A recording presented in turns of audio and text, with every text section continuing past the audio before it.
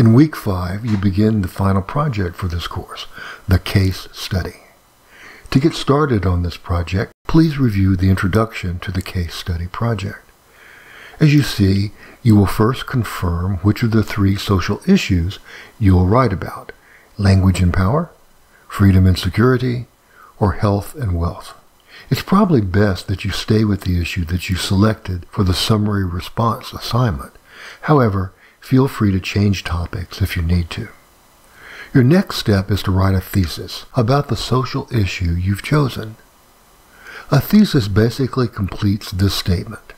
I believe that, and then your stance or opinion on the topic. Let's say, for example, I'm writing about language and power. After going over our readings and discussions, I might come up with a statement like this. I believe that the tragedy of the 9-11 attacks led to substantial positive changes in the Middle East. You see, the phrase, I believe that, is in parentheses because the phrase is understood and not actually a part of the thesis. Now that you have a workable thesis that makes a substantial claim about the topic, your next task is to come up with three reasons that support that thesis. The first positive change is that the societies of Iran and Afghanistan became more open. The second positive change is that the U.S. ended the rule of brutal dictators. And the third positive change is the elimination of master terrorist Osama bin Laden. So after I have my reasons, my next task is to return to the assigned readings and find quotations that directly support these reasons. For example, for my reason, the societies of Iran and Afghanistan became more open, I could use this quote from the article by Katulis and Juul. One gain that will endure are the new generations of Afghans and Iraqis who grew up in more open societies.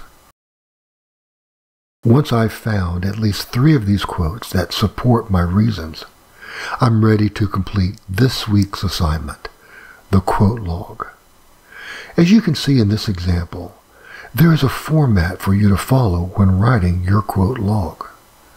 Be sure to follow this format and also be sure to use one of the many citation machines to help you generate correct APA citations.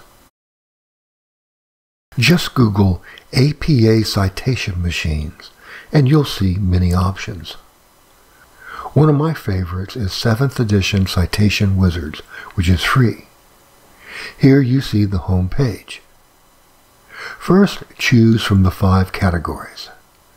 The citation I need is for a blog post, so I select that. Next, fill in the information for the source. Simply leave blank any area for which you don't have information. And finally, click Print Citation, and you'll see on the next page a correct APA reference citation for you to copy. Remember, all APA in-text citations are the same. The author's last name plus a page number. If there is no author, substitute the title of the source you're citing. If there is no page number, use a paragraph number instead. Simple as that.